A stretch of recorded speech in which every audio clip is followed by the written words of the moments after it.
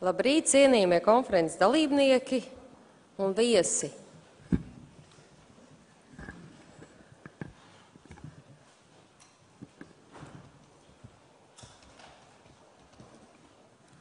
Šodien, ir man, ta, šodien man ir tas gods Latvijas prezidentūras laikā jaunajā Nacionālās bibliotekas ēkā Rīgā uzņemt viesus gandrīz no visām mēs dalībvalstīm, lai pārunātu aktuālākos jautājumus saistībā ar Eiropas sociālās politikas reformēšanas prioritātēm sociālo pakalpojumu sniegšanas jomā. Mums šodien ir pieejams tulkojums divās valodās - latviešu un angļu. Lūdzu dalībnieks ņemt vērā, ka darba grupās, kuras tiek organizētas pēcpusdienā, darba valoda ir angļu un tulkojums latviešu valodā nebūs nodrošināts. Šodienas, šodienas konferences tiek rādīta arī tiešraidē. Tātad šo, šajā brīdī man ir tas gods dot vārdu Latvijas Republikas labklājības ministram Uldim Auglim. Labrīt, cienījamās dāmas, godātie kungi! Man ir liels gods šodien atklāt konferenci Deinstitucionalizācija un sociālās aprūpas politikas attīstība Eiropā. Konference ir viens no Latvijas prezidentūras rīkotajiem pasākumiem, kuru ietvaros Eiropas Savienības līmenī tiek analizēta situācija un stiprināta apņemšanās uzlabot cilvēku ar ierobežotām iespējām dzīves kvalitāti un integrāciju sabiedrībā. Īpaši vēlos uzsvērt augsta līmeņa tikšanos par invaliditāti, kas notika šī gada 11. un 12. maijā Rīgā. Un priecājos, ka šodien var turpināt iesāktās diskusijas arī ekspertu līmenī, pie, pievēršoties jau konkrēti deinstitucionalizācijas jautājumam. Šodienas konference ir organizēta ar Eiropas ekonomikas zonas finanšu instrumenta un Norvēģijas finanšu instrumenta atbalstu. Tāpēc vēlos pateikties Norvēģijas karalists vēstniekam Latvijā, Hāgenkungam, par vēstniecības sniegto atbalstu un sadarbību. Eh, Norvēģijas vēstniecības līdzdalība konferences organizēšanā ir apliecinājums, ka diskusijas par sociālo iekļaušanu un augstas kvalitātes sociālajiem pakalpojumiem ir nozīmīgas arī citām Eiropas Savienības valstīm. Visiem cilvēkiem, neatkarīgi no veselības vai sociālā stāvokļa, ir vienlīdzīgas tiesības dzīvot sabiedrībā ar tādu pašu izvēles brīvību kā ikvienam. Taču ne visi cilvēki ar invaliditāti spēj sevi aprūpēt, veiksmīgi pārstāvēt savas intereses, iesaistīties darba un sabiedriskajās aktivitātēs. Īpaši liels risks nokļūt bezpalīdzīgā situācijā ir cilvēkiem ar ļoti smagu invaliditāti un bez vecāku gādības palikušajiem bērniem. Tā ir arī cilvēku grupa, kura visbiežāk nonāk institucionālajā aprūpē, nesaņemot pietiekamu atbalstu no līdzcilvēkiem. Sociālo pakalpojumu klāsts, saturs un kvalitāte dažādās valstīs ir atšķirīga. Un tomēr vairāk nekā miljons Eiropas iedzīvotāju dzīvo aprūpas institūcijās. Diemžēl pakalpojumam institūcijās ir savas vājās puses. Tajā skaitā ierobežotas iespējas veidot individuālas aprūpas programmas. Dienas ritms tiek organizēts pēc iepriekšēji noteikta grafika. Dzīve dažādos apstākļos nereti rada vienaldzību pret apkārtējo vidi, zemu motivāciju un neticību, kas ir lietas, ko cilvēks var veikt pats.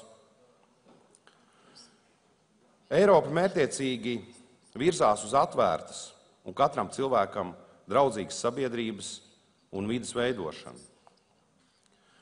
Kopumā valsts ir vienotas izpratnē, kā ar kvalitatīviem sabiedrībā balstītiem pakalpojumiem un vispārējo pakalpojumu pieejamības uzlabošanu cilvēkiem ar invaliditāti ir jādod izvēles iespējas un kontroli pār to, kā, kur un ar ko kopā dzīvot. Savukārt vāreņiem un bez vecā gādības palikušiem bērniem īpaši svarīgi ir nodrošināt aprūpi ģimenē, piemēram, pie aizbildņa vai auģu ģimenē. Tas ir būtiski, lai veidotu neizkropļotu izpratni par ģimeni, tās dibināšanu, vecāku lomu un bērnu audzināšanu. Pēdējo gadu demogrāfiskās tendences, kā arī finanšu krīzes atstātās sekas, ir nopietns izaicinājums Eiropas valstu ekonomikai.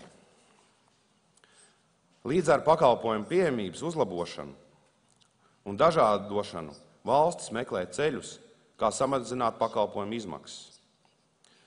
Izaicinājums ir atrast veidu, kā to paveikt, nepasliktinot pakalpojumu kvalitāti, bet tieši otrādi nodrošinot, ka pakalpojums ir efektīvs un ar noturīgu rezultātu.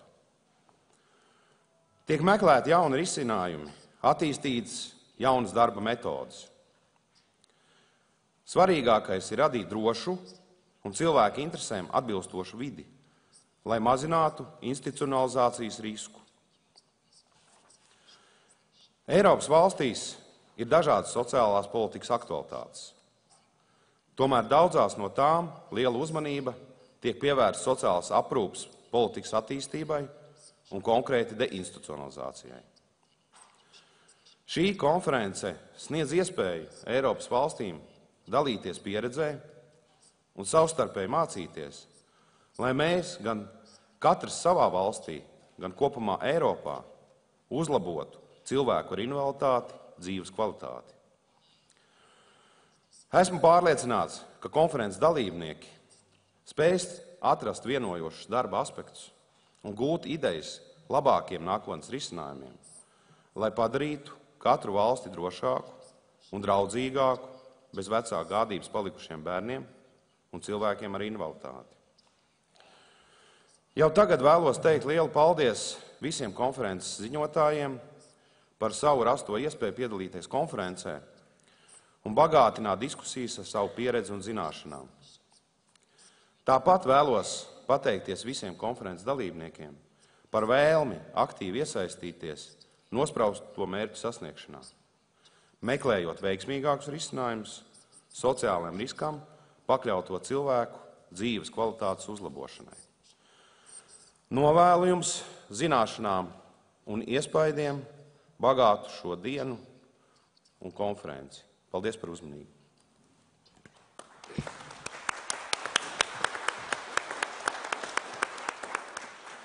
Paldies ministra kungam par iedvesmojušiem vārdiem. Es gribētu teikt, ka tie ir ne tikai vārdi, bet jau vairāk kā gada garumā viņš ir apliecinājis, ka ir cieši pārliecināts par deinstitucionalizācijas nepieciešamību, gan virzot ārpus ģimenes attīstības koncepciju, kas bija ļoti smags un grūts darbs, kas tika īstenots, kā arī iesniedzot saimā grozījumus, kas nodrošina deinstitucionalizācijas procesu un neatkarīgas dzīves nodrošināšanu. Par to paldies, un tādēļ šai konferences darbam ir ļoti liela nozīme arī mūsu turpmākajiem sasniegumiem.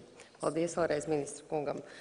Tagad man ir tas gods dot vārdu Norvēģijas ārkārtējiem pilnvarotēm veisniekam Latvijā Steiner Tegila Hāgen kungam. Norvēģija un Latvija vieno ilgstoša un radoša sadarbība – Un šī konference, kā arī ministra kungs minēja, ir organizēta ar Eiropas ekonomikas zonas finanšu instrumentu un Norvēģijas finanšu instrumentu atbalstu, kā arī ar izmantojot tās zināšanas, kas ir Norvēģijas kolēģu rīcībā. Lūdzu, vēstnieks, vārds jums. Thank you, State Secretary. Paldies, valsts sekretāra, eh, ministra, cienījamie uh, kungi un dāmas. Man ir liels gods piedalīties konferences atklāšanā. Konferencē Deinstitucionalizācija un sociālās aprūpas politikas attīstība Latvijā. Eh, šī konference ir eh, Eiropas, eh, Latvijas Eiropas prezidentūras sastāvdaļa. Kā jūs zināt, vai varbūt kāds no jums nezina, ka Norvēģija nav Eiropas Savienības sastāvā.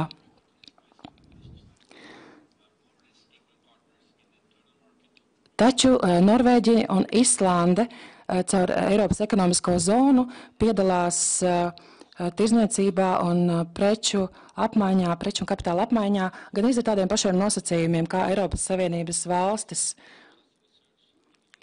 Mūsu starpā notiek arī cita svarīga sadarbība pētījumos un arī sociālajā politikā. Arī šodienas tēma ir ļoti svarīga joma mūsu sadarbībā ar Eiropas, ar Eiropas Savienības valstīm. Norvēģija atbalsta šo konferenci caur ar finanšu līdzekļiem arī, un arī ar savu dalību konferencē. Dēļ globalizācijas un migrācijas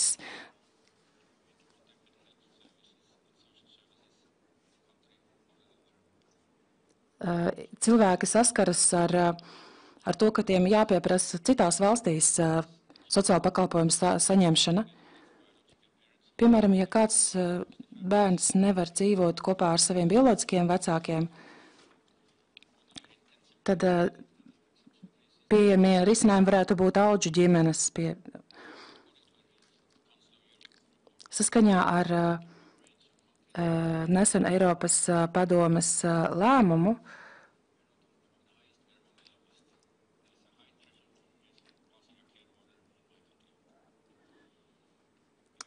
Norvēģijā ir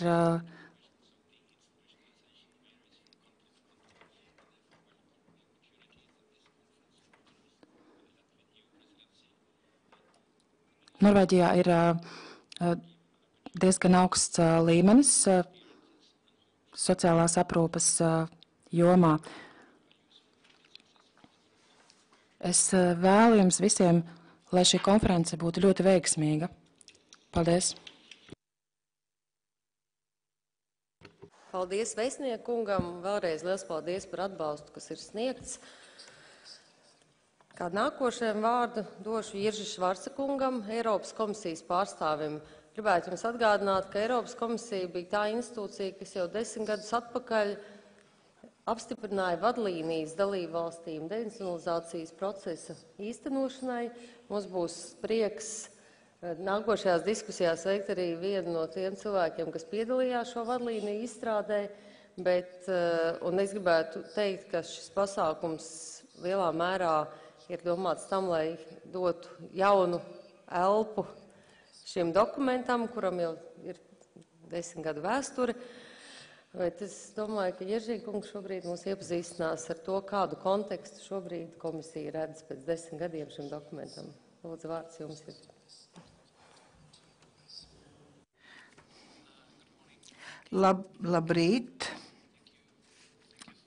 Paldies par iespēju uzrunāt jūs šajā sanāksmē. Es personīgi gribētu palabot, es personīgi nebiju klāt vadlīniju izstrādē. Es domāju, ka viss uh, gods pieder Eiropas ekspertu grupai, uh, ko Eiropas komisija atbalsta. Pirmkārt, vēlos pateikties jums un Latvijas prezidentūrai par uh, šīs konferences norganizēšanu. Tā ir lieliska iespēja izvirzīt šādu eh, ļoti svarīgu jautājumu darba kārtībā. Un daži uh, momenti no mūsu viedokļa skata, skatoties politikas, rīcību politikas līmenī, kā arī no finanšu viedokļa. Kāpēc uh, par deinstitucionalizāciju es runāšu īsi, es esmu pārliecināts par tās nepieciešamību, bet vēlos teikt, ka mm, te jautājums nav tikai par tiesiskām saistībām un Eiropas konvenciju, bet par visu koncepciju, par pieeju cilvēku tiesībām Eiropas telpā kā uzlabot uh, dzīves kvalitāti tiem, kas daudzkārt ir, uh, uh, ir pilnīgi izslēgti no mūsu sabiedrības. jāatcerās ekonomiskos argumentus, ja mēs domājam par izmaksām, cik izmaksā mm, eh, aprūpe eh, institu, institucionālos mm, eh, veidojumos, tad mēs ļoti labi zinām, ka aprūpe, kas sabiedrībā balstīta, ir lētāk un ar dod daudz labākus rezultātus. Jūs to ļoti labi zinat. Vēlos norādīt, Daudzi no politikas eh, dokumentiem jau ir uzrakstīti, ir vadlīnijas, un par to stāstīšu vēlāk, kas ir svarīgi. Ir, ir jāizplata veiksmes stāsti. Uzskatu, ka ir būtiski svarīgi tos nodot sabiedrībai, finanšu ministrijām, uh, politiķiem, para, lai parādītu, ka process ir vērtīgs un tas var dot būtiskus ieguvumus. Viens no veiksmas stāstiem ir stāsts par Višī Hradek Čehijā. Tā ir 18. gadsimta pils Un mēs redzam, kā viņi izskatījās 2006. gadā. Tas nemaz nav tik tālā pagātnē. 90 sievietes bija pilnīgi izolētas, eh, ļoti eh, gultas kā būris, izolētas istabas, eh, slēgtas durvis un ļoti daudz no pacientiem nekad nebija atstājuši šo vietu, bet pēc deviņiem gadiem institūcijas vadība ieviesa pārmaiņas. Šī ēka tagad ir slēgta Un viss, uh, tagad visas sievietes dzīvo atsevišķi vai mazās dzīvoklīšos vai mājās. Uh, tikai dažas no tām ir novietotas uh, citās institūcijās. Un darbinieki strādā, lai nodrošinātu sabiedrībā balstītas pakalpojumus. Un tas ir stāsts, kas ir jāizplata lai mēs varētu parādīt, eh, ko nozīmē institucionalizācija, ir jāuzņemās politiskās saistības un tiesiskās, tiesiskie pienākumi. Jo tas, eh, tas eh, politika, rīcība politika ir tā, kas palīdz, lai tas viss notiktu. Eh, apvienoto nāciju eh, konvencija, jūs to ļoti labi pazīstat. Es vēlos jums vienkārši atti, atgādināt, ka ir arī Eiropas eh, stratēģija cilvēkiem ar invaliditāti kas palīdz ieviest ANO konvenciju un, un Eiropas Savienība mēģina nodrošināt koordinātu rīcību, lai konversijas saistības pārvērstos par īstenību. Un tas attiecas uz nodarbinātību, izglītību, veselības aprūti, aprūpi Un tā ir atbildība, kas, kas ar ko jādalās. Ļoti daudz ko var izdarīt ES līmenī, bet atbildība par nodrošināšanu, par šo lēmumu izpildi, un, uh, lai šī konvencija tiešām uh, tiktu īstenota, ir uz dalību valstu pleciem. Uh, lai, lai valstī nebūtu šāda veida institūcijas, par ko mēs runājam.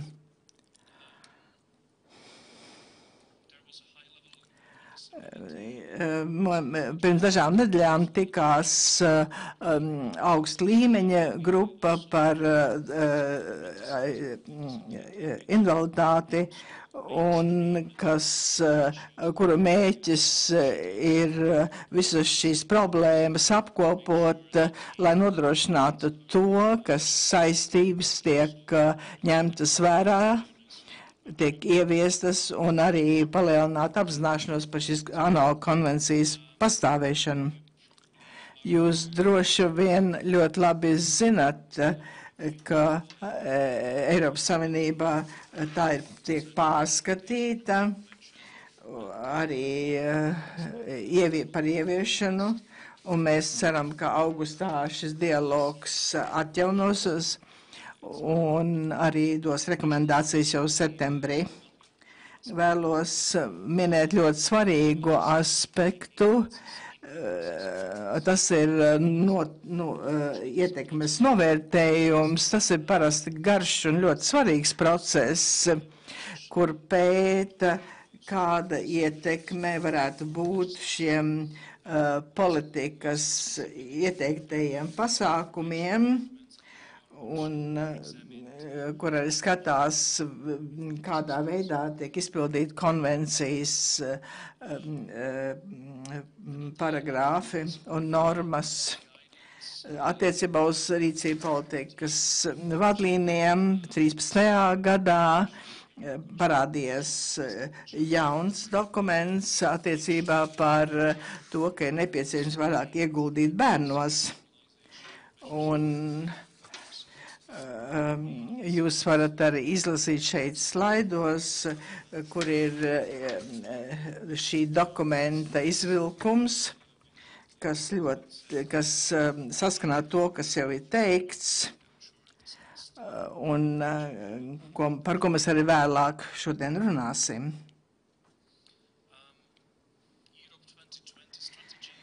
Eiropas 2020 stratēģija ir mūsu ilgtermiņa strateģiskais dokuments. Tas ir process, lai, lai nodrošinātu viedu izaugsmi, iekļaujošu izaugsmi. Mēs uh, esam īpaši pievērsušies ietver, ietverošai procesa daļai Un tagad jau ir izstrādāts vairākas rekomendācijas dalību valstīs par sociālo iekļaušanu un, un vispār par deinstitucionalizāciju kā tādu. Tas ir procesa sastāvdaļa. Tā izskaitā arī nacionālās reformu programmas, eh, ieskaitot dalībvalstis. Te ir uzskaitīts tās dalībvalstis, kas ir minētas, kas ir iekļāvušas deinstitucionalizāciju savā stratēģijā. Eiropas ekspertu grupa arī ir minēta kas ir uh, veidota 2009. grupā uh, gadā un uh, ko komisija atbalsta. Kā jau minēju, viens no galvenajiem iznākumiem bija vadlīnijas un rīkopa par aprūpu sabiedrībā Un Latvijā to arī izveidos, bet acīm redzot, tas vienkārši ir loģistikas jautājums. Šīs vadlīnijas kļuva eh, par ES līmenī par tādu neformālu konstitūciju attiecībā uz deinstitucionalizācijas procesu. Mēs mēģinām to visu veicināt. Mēs veicinām to arī ar sarunām,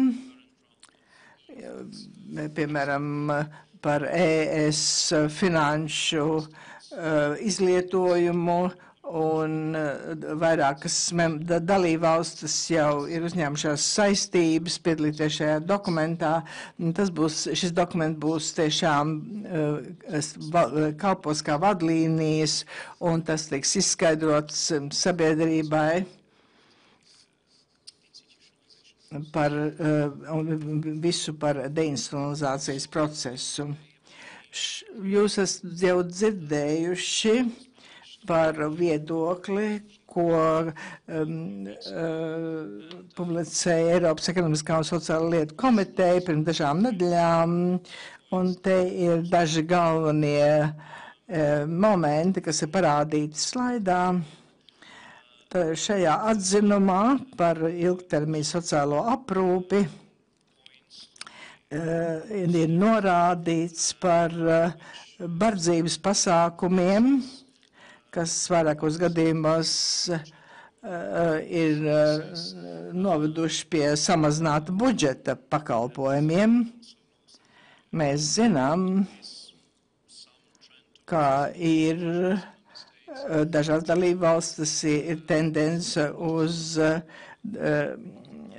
deinstitucionalizāciju un arī ilgtermiņa stratēģijām, un tāpēc ir nepieciešams Eiropas Savienības uh, tiesiskais satvars.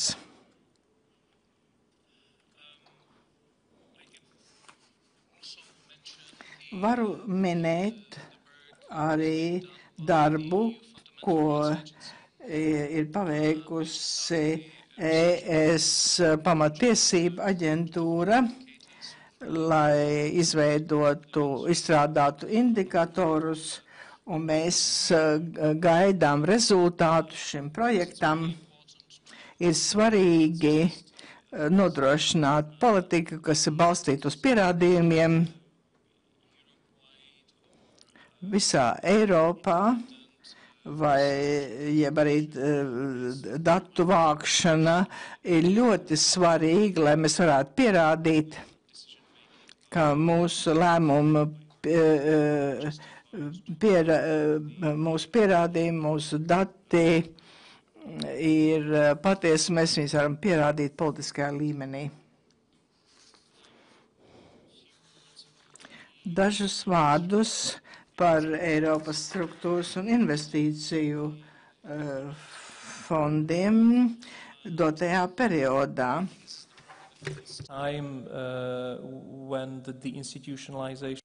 Jo um, tagad ir tāds periods, kad deinstitucionalizācija ir jau kļuvusi par tiesiskās satvara pamat uh, likumā sastāvdaļu. Uh, un tas attiec, attiec arī uz struktūrāliem fondiem. Pagātnē mūs kritizēja par to, ka finansējums, ka mēs finansējam tādus, tādas institūcijas tā vietā, lai viņas deinstitucionalizētu. Tagad mēs veltam daudz vērības šim procesam. Mēs uh, esam šo jautājumu uzlikuši darba, kā, iekļaujuši darba kārtībā arī dalībvalstīm attiecībā uz struktūrāliem fondiem eh, ir jauns instruments, kas ir ex ante eh, no, eh, nosacījumu politika. Tas nozīmē, Eh, te ir tāda nosacījuma eh, nosacījum ietver to, kādām stratēģijām, nacionālām stratēģijām jā, jābūt, lai samazinātu mm, nabadzību. Un šeit ir jāiekļau arī pārēja no institūcijām uz uh, sabiedrībā balstītu aprūpi. Vēl ir viens eksante no, nos, nosacījums. Uh, tie finansējums, kas attiecas tieši uz ANO kon konvenciju. Un tas attiecas uz administratīvo kapacitāti, lai ieviestu šo politiku. Un ir arī eh, šajā regulā ir atsauces, kur jūs redzat pārēju no mm, pārēju uz sabiedrībā balstītu aprūpi. Finansēšanas uh, periodā mums ir tāds jēdziens kā investīciju prioritāte, un tas parāda, kādiem pasākumiem jābūt, kas ir uh,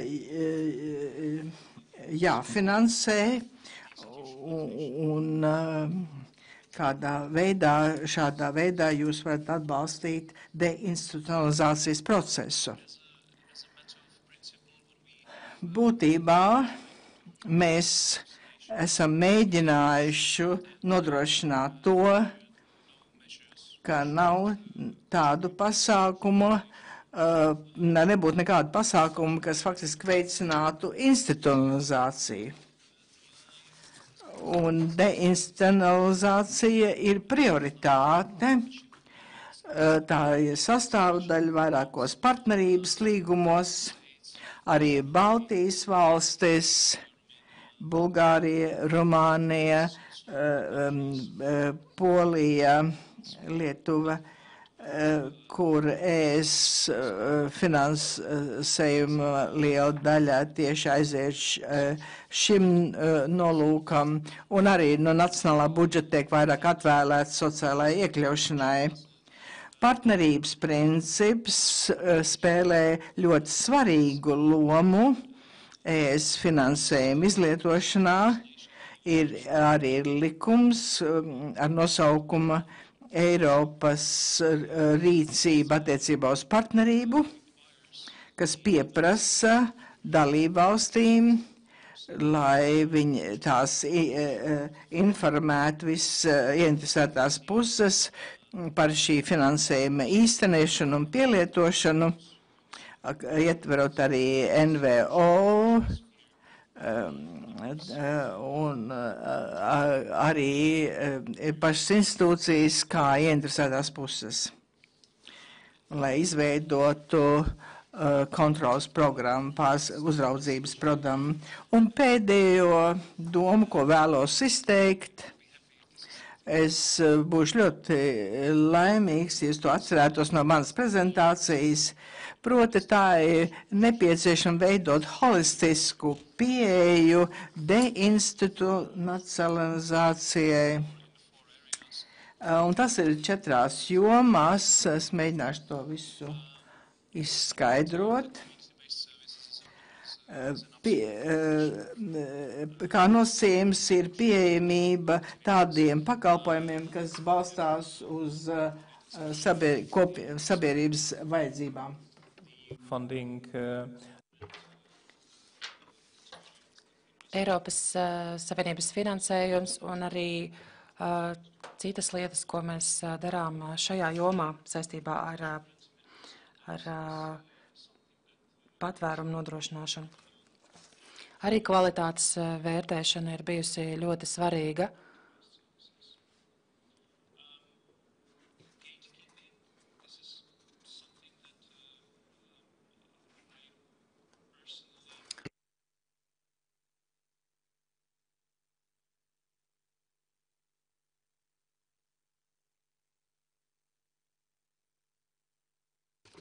Uzraudzība ir kaut kas, ko es neesmu tieši, kur neesmu piedalījies Eiropas Savienības dalību valstu līmenī. Šī tēma jau iesniedzas citās politikas jomās, jo uzraudzību ir jāveic gan no veselības jomas viedokļa, gan no nodarbinātības viedokļa, nodarbinātības aktivizēšanas viedokļa kā arī sociālo pakalpojumu pieejamības. Jāņem vērā arī atbalsts ģimenē balstītiem pakalpojumiem aprūpei.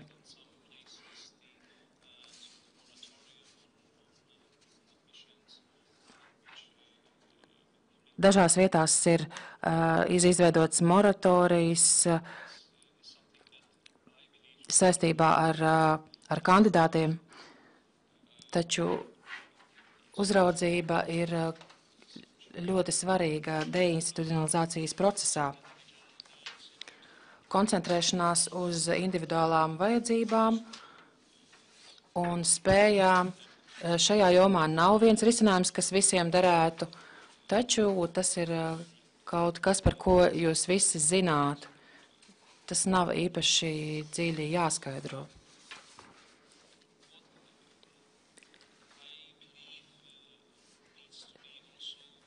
Es uzskatu, ka nepieciešams eh, pārunāt arī to, ka organizācijas, kas aizstāv invalīdus, ir reforma procesā, un ik viens reforma process uh, tam ir nepieciešams, uh, nepieciešama politiska pieeja, turpinājums. bez politiskā atbalsta ļoti grūti ieviest izmaiņas. Un to daudz no jums zina.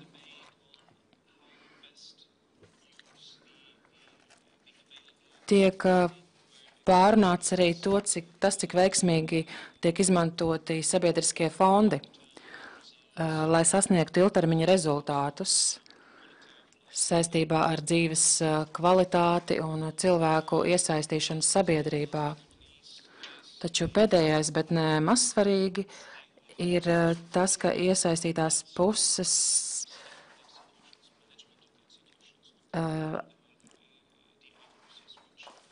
ir nepieciešams atbalsts iesaistītajām pusēm un arī institūcijām, lai tās virzītu procesu tālāk.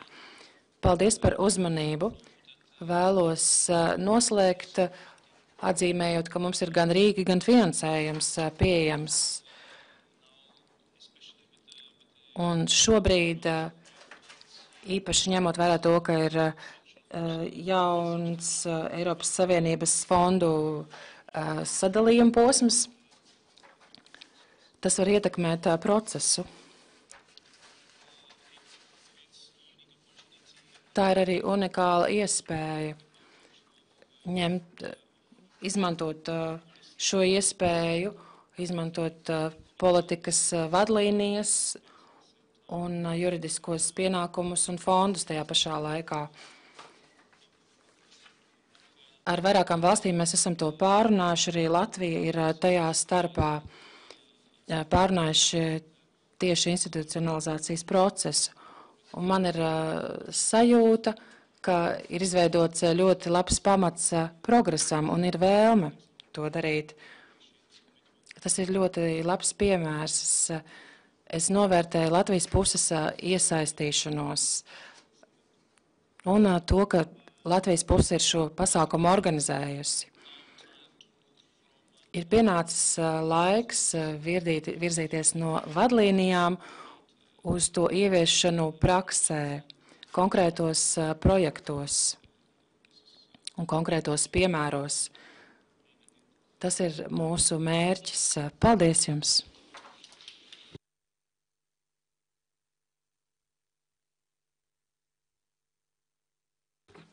Par Latvijas pūļu novērtējumu, jo mēs tiešām esam izdarījuši daudz priekšdarbu, lai deinstitucionalizācijas process būtu veiksmīgs. Un, kā jau arī minēju iepriekš, šī, šī konference, konferences mērķis ir tieši gūt vairāk ierosmes un piemēru tam, kā to izdarīt vislabākajā veidā. Liels paldies pirmā paneļa runātājiem, augstskotātājiem ministrungam, vēstniekungam, Švarcakungam. Lūdzu, ieņemt jūs vietas zālē, lai mēs varētu pāriet pie pirmās plenāras sēdes ar mūsu augst, augstlīmeņa runātājiem.